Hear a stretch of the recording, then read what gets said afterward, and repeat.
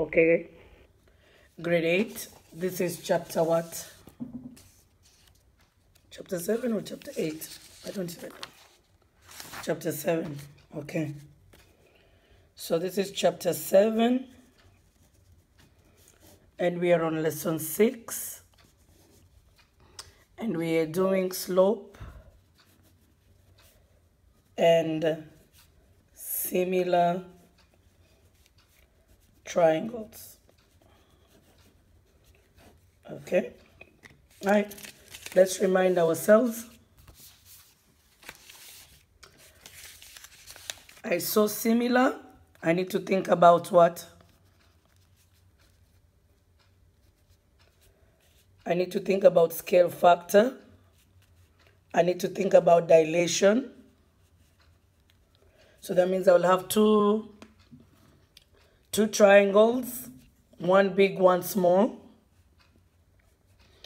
My triangles will be right, right triangles. Okay, so since my triangles are right triangles, there's things I need to think about. So I have right angled triangles. I have to remember Pythagorean theorem.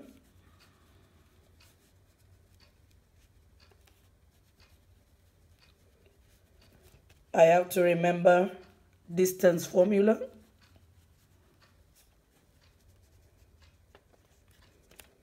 I Pythagorean theorem a squared plus b squared equals to c squared.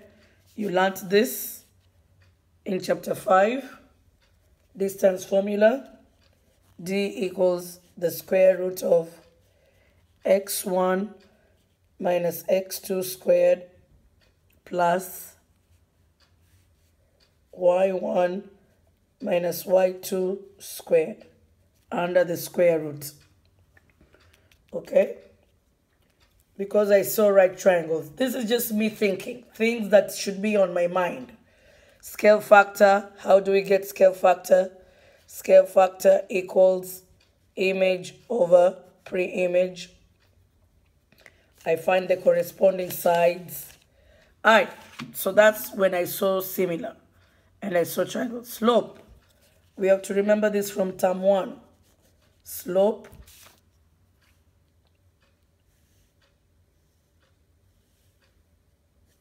I have to remember this is run, this is rise.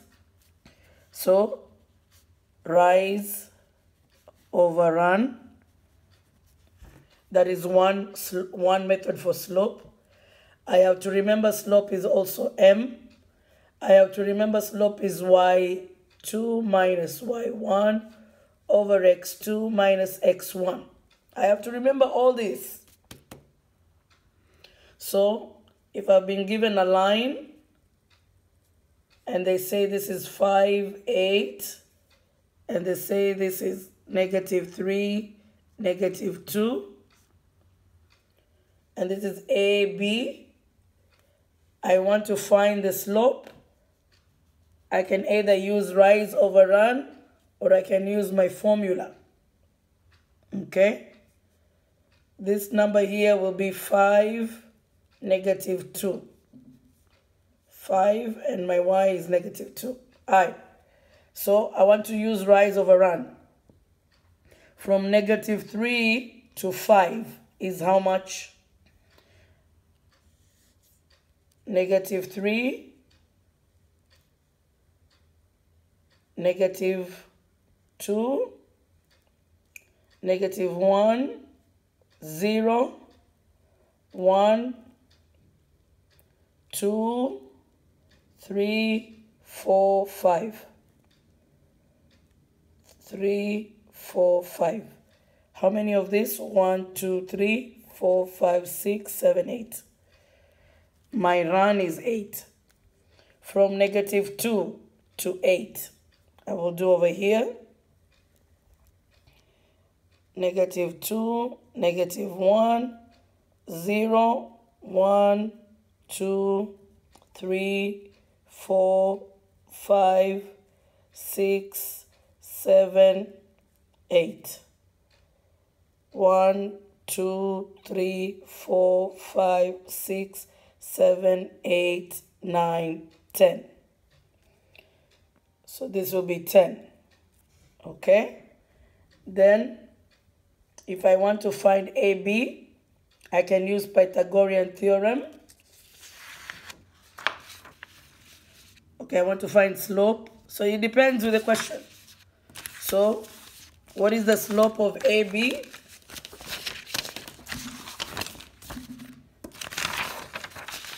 Okay, what is the slope of line AB? So I will say slope of AB is rise over run.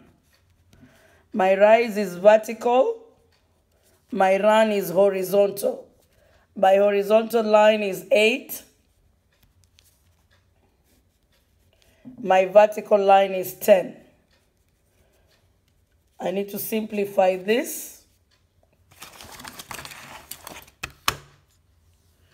I'm going to write my slope as a decimal. 1 and 25 hundredths. So this is one way I can do the slope, okay? If I've been given ordered pairs. If I've been given these two ordered pairs, I should find the third one then I find the distance from here to here using my x. And then I find my rise using my y. See how I did with the number line? That's how one way. Another way you can do it, use the formula. Slope equals y2 minus y1 over x2 minus x1. Let's put our numbers. So I label y2, x2, y1, x1. Then I do 8 minus negative 3. And then I do, no, minus negative 2, sorry. y1 is negative 2. And then I do 5 minus negative 3. And then I get this becomes plus, this becomes plus. 8 plus 2, 10, 5 plus 3, 8. See? I got the same value. So those are two different ways of you finding the slope. If the question says what is the distance from A to B? Then I will do AB using Pythagoras theorem.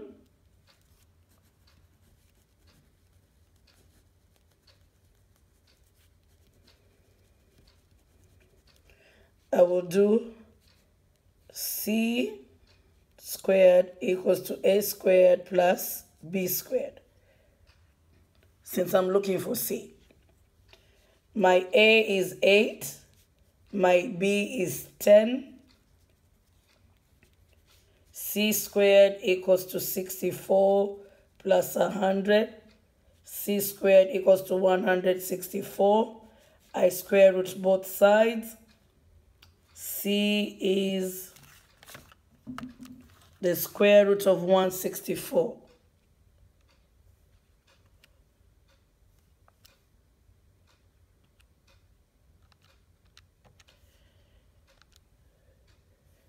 Press D, 12 and 8 tenths units because I am measuring the distance. I or I can use distance formula. So I'm going to do it here. Find AB using the distance formula.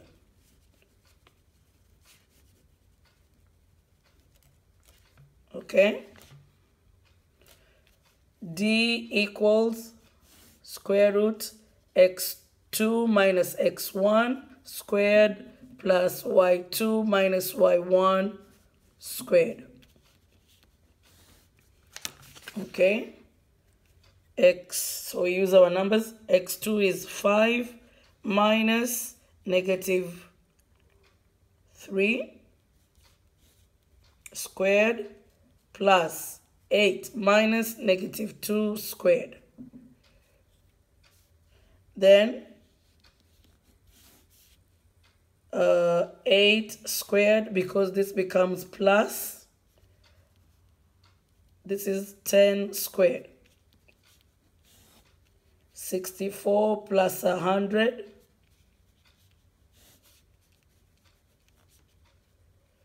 which gives me 12.8 units. So you choose or the question will tell you. If the question doesn't tell you, choose whichever one is easier for you. If the question tells you, you have to do what the question says. Now, this is just a reminder. Now we have to get into the lesson. The lesson says, if two triangles are on the same line, they are similar because they have the same slope.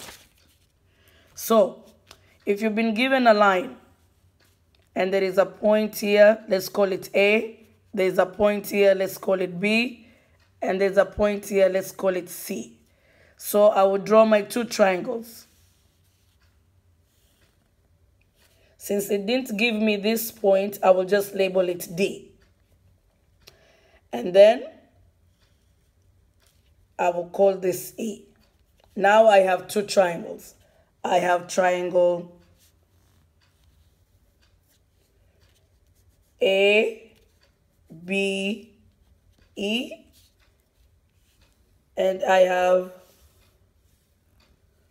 triangle A, C, D. And what did the question give me? Points. Okay. So let's say this is 2, 3. This can be 5, 8.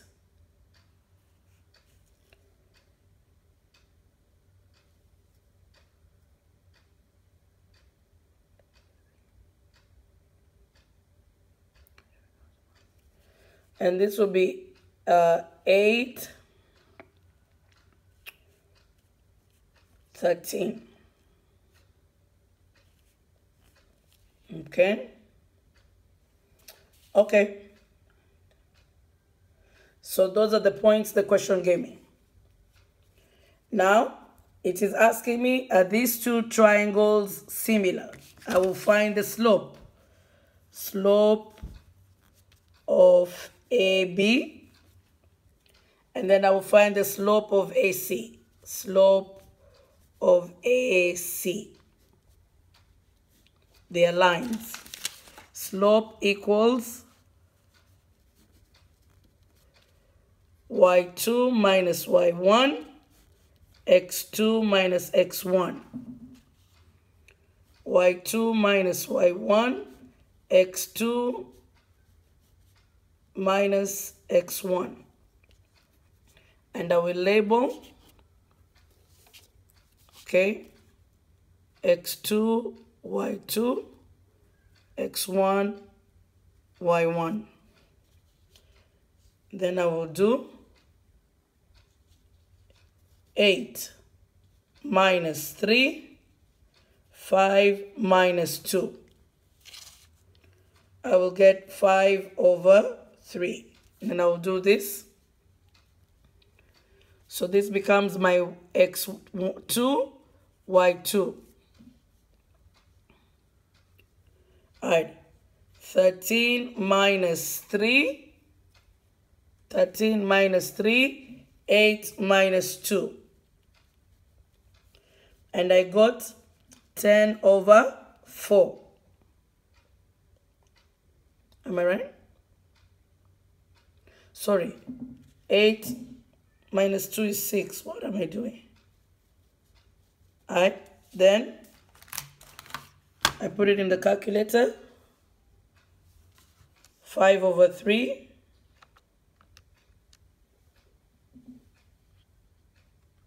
1.666 and then 10 over 6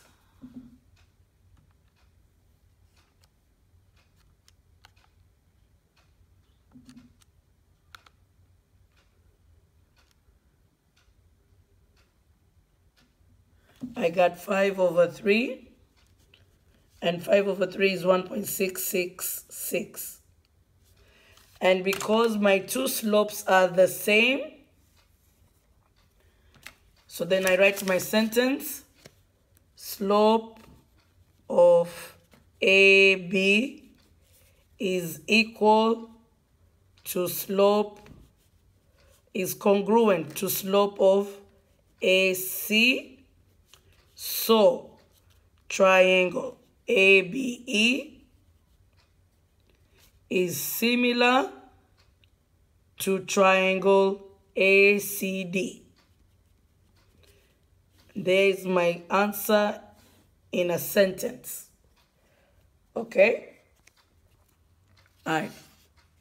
We need to do more. So, if the points are on the same line, then the slopes between any two points will be congruent. Write that sentence. When the points are on the same line, then the distance between any two points will always have the same slope. Okay? Then you do your examples. That's it. This lesson is all about you doing slope. See? You find slope either by counting, rise over run, or you use the formula. When you write your uh, corresponding sides and you get a different number, they are not similar. If you write them correctly and you get the same number, then they're similar. Rise over run. There you go. See? Slope formula. So do example A and B, and then we will talk about them tomorrow.